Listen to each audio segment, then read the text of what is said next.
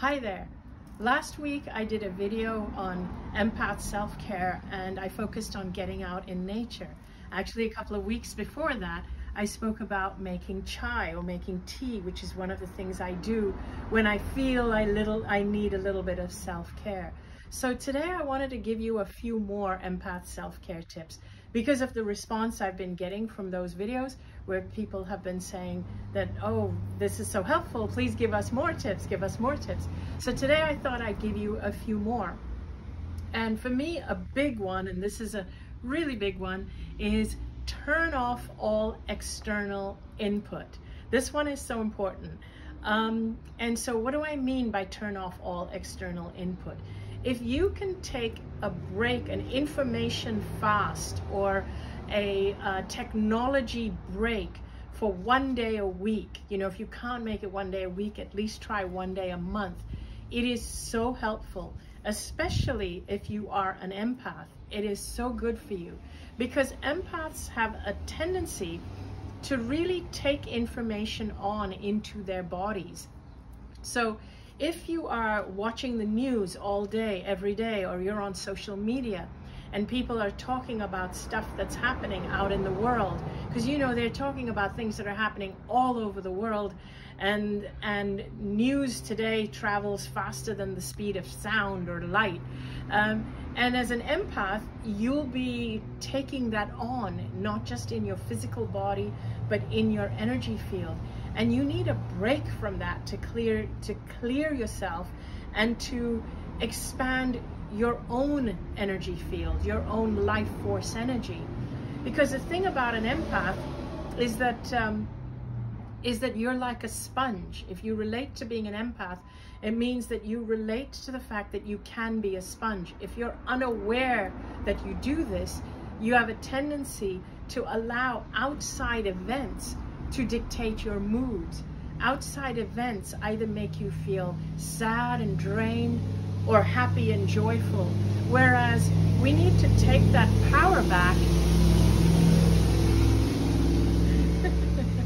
we need to take that power back and we need to be able to do it for ourselves. We need to be able to control whether we feel happy or joyful ourselves. And every now and then, we, you know, you won't feel happy and joyful all the time 24 7.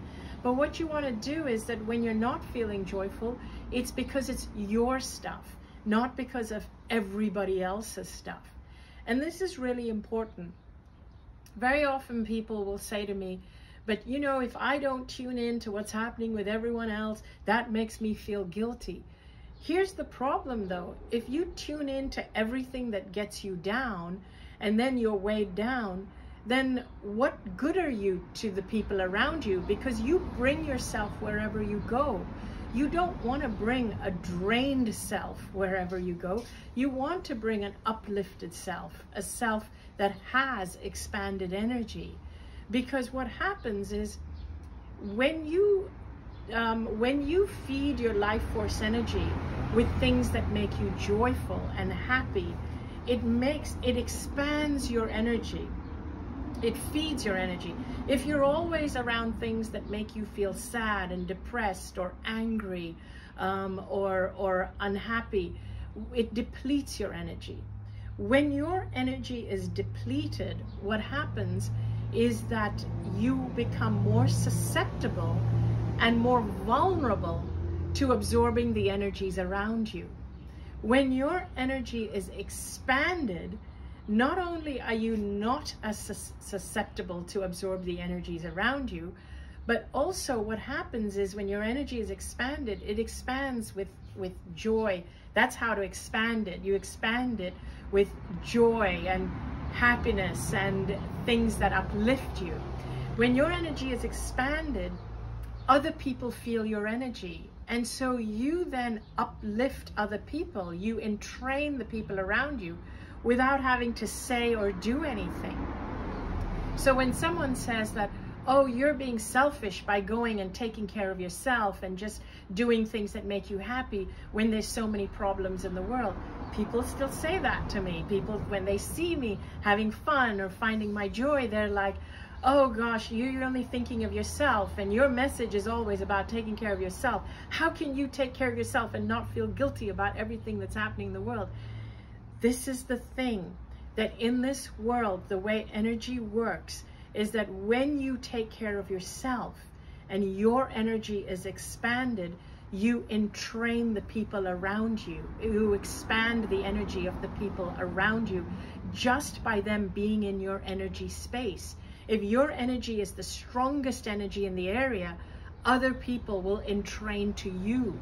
If your energy is weak, you will entrain to other people, but you have to hope that the people around you have joyful energy because if they don't, you're going to entrain with whatever's closest to you depressed energy, angry energy, whatever's closest. And you don't want to do that. That's why it's important for you to to expand your energy. And one of the ways I do that is by turning off at least once a week everything that is not uplifting and joyful. And that means not listening to the news even if it means not listening or turning into social media. If you want, you can at least control it and only listen to people's messages, people who you know uplift you, certain people that you may follow who you know actually uplift and help you. At least you can do that. But I tend to actually not watch the news more than once a week. I just watch it once a week just to get my information of what I need as to what's happening in the world so I know how to respond to the world. But that's it. I don't watch, and I actually do know people who watch it 24 7, and I don't know how they can do that.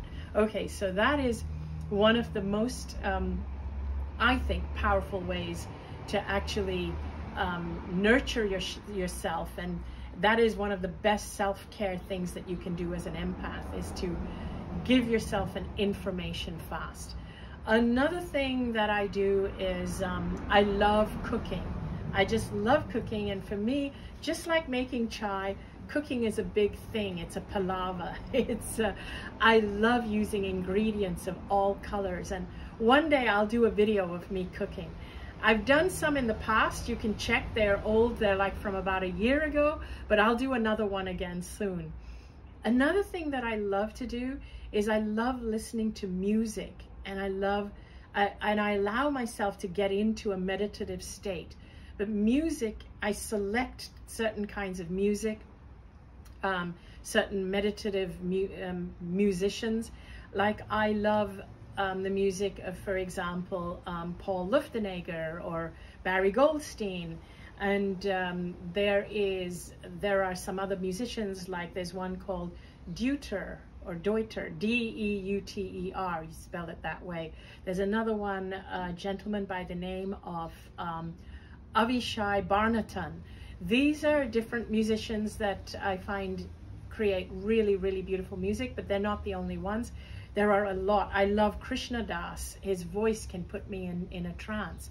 Um, I, uh, there's, I have so much music and I love music because it does actually change my energy state. It changes my frame of mind. Um, and it clears my energy and it expands my energy. Another thing that actually helps me a lot is um, movement. Movement can really, really help clear your energy.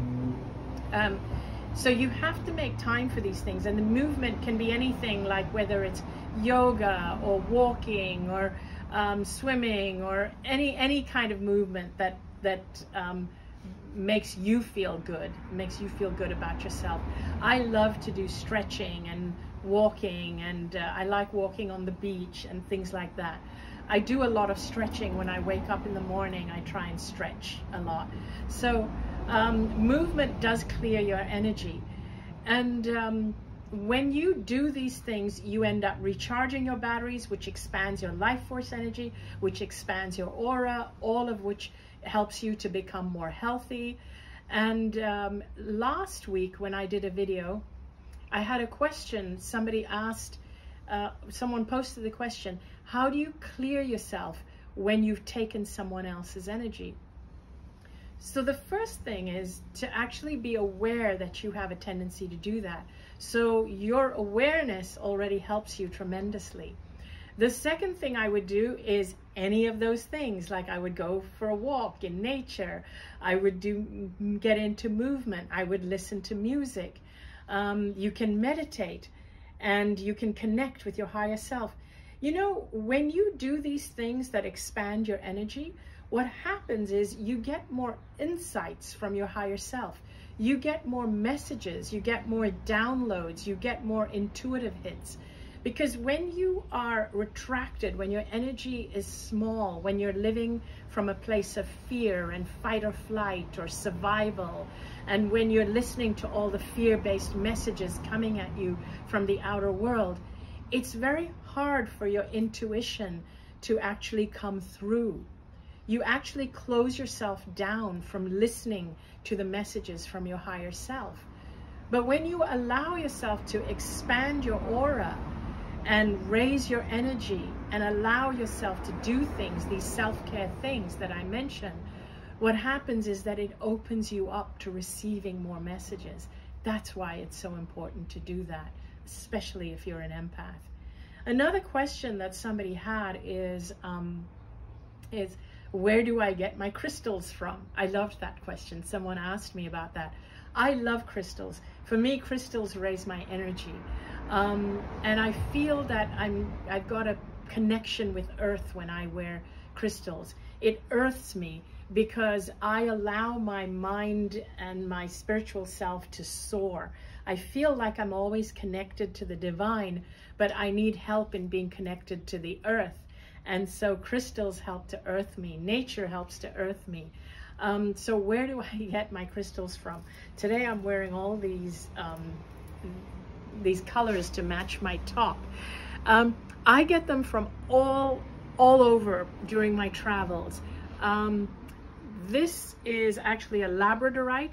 The crystals I was wearing last week in the video that I was doing last week, I know one of them I got from Quartzsite, at least, from which is in Arizona, which is on the border, the California-Arizona border. There's actually a store at the border, the California-Arizona border, in an area called Quartzsite, uh, and there's a store called Gem World. They have some amazing pieces there. But also once a year at Quartzsite, there's a gem fair, which is amazing, beautiful, and huge. Another place I go to is the Santa Barbara Gem Fair, which is where I got these. Um, I do get also get my jewelry from some when we used to do events when we used to travel at that in the times when we would, travel and there were um, events I would do multi-speaker events like celebrate your life or Hay House events. There would always be concession stands and there would be people selling jewelry. Um, one of the jewelry operators his name is Digby. Haven't seen him in ages because we don't do the those um, those shows anymore but I would buy jewelry from him. So really I get them from all over the place. If you're in the LA area, another place I get a lot of my jewelry is a store called Soothe Your Soul. Um, so that's a fabulous store with lots of great jewelry. Uh, so yeah, just all over the place. So thank you for that question and um, and and and keep practicing all the self-care stuff and don't feel guilty because guilt is another emotion that's just going to uh, drain you and it's going to bring your energy down. And remember when your energy is down you're not uplifting other people. You need to be a light. Uplift your, yourself to uplift other people. Thanks for tuning in. And um, you know check out my book sensitive is the new strong. It's also now now out in audio. And i look forward to seeing you again really soon. Bye